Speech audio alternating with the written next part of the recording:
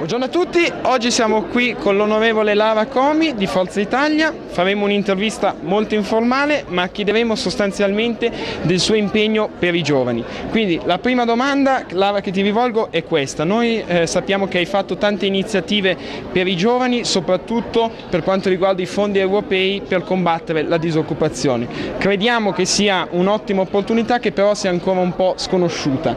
Vorrei che tu brevemente ci raccontassi concretamente esattamente che cosa sono e come soprattutto si può entrare a disposizione di questi fondi? Allora, innanzitutto abbiamo 3.000 posti di lavoro per i giovani all'interno delle istituzioni europee e sono posti attualmente disponibili, quindi bisogna mandare curriculum. Noi abbiamo sicuramente delle grandi opportunità e dei grandi persone con esperienze, anche con dei curriculum eccellenti, quindi bisogna candidarsi. Per candidarsi si può andare anche sul mio sito www.laracomi.it e sulla vostra sinistra trovate trovate opportunità di lavoro. Invece sulla eh, destra trovate bandi, quindi c'è diviso settore per settore come possono svilupparsi, come possono promuoversi queste idee, questi bandi. Quindi diciamo che c'è anche una sorta di flessibilità anche interattiva per accedere a questi sistemi, molto digitalizzati, quindi passa tutto anche attraverso la rete. Zero burocrazia, zero, burocrazia. zero carta, quindi assolutamente risparmio anche per quanto riguarda tutto il tempo che, che si deve dedicare modificare le tempistiche, di conseguenza è bene che avvenga in modo molto rapido e attraverso il web. Senti, un'ultima domanda su Saronno. Allora, noi vorremmo chiederti il tuo impegno che porterai avanti nei prossimi anni per, per la città di Saronno, anche eventualmente, anzi speriamo tu sia rieletta e soprattutto quale sarà il tuo impegno e soprattutto per l'aspetto per i giovani, del, eh, per le tue iniziative savonnesi. Allora, i giovani devono avere uno spazio giusto dove ritrovarsi, dove riunirsi e dove anche svolgere le loro attività. Deve essere uno spazio legale, deve essere uno spazio che anche il comune dia a disposizione, non lo si fa attraverso delle occupazioni abusive, ma lo si fa tutti insieme creando una struttura utile per riunirsi unirsi in modo assolutamente pacifico, in condivisione dei valori e delle attività che voi giovani dovete portare avanti e tra questi mi inserisco anch'io.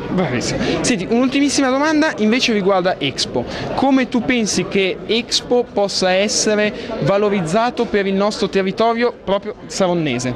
Saronno è a pochi chilometri dall'area Expo, eh, quello che è una domanda che dovresti chiedere maggiormente al sindaco Porro, perché ritengo che siano le amministrazioni che debbano maggiormente eh, informarsi ed incentivare queste attività. Lo stanno facendo tanti tanti altri comuni con i quali sto collaborando, eh, Saronno dorme e questo è un eh, problema molto molto serio nell'ambito economico, produttivo e anche per il nome di Saronno che dovrebbe essere di più valorizzato. Laura, noi ti ringraziamo Grazie per l'intervista e passiamo a lui Grazie, ragazzi, che ci racconta... E io vi lascio la loro testimonianza. Grazie. Ciao, Ciao. Allora, siamo qua con il responsabile de, gio, della Giovane Italia della provincia di Varese, quindi la, eh, la parte del, de, di Forza Italia inerente ai giovani. Che cosa si sta facendo concretamente e che cosa è cambiato rispetto alle precedenti, eh, rispetto al, al, popolo delle libertà?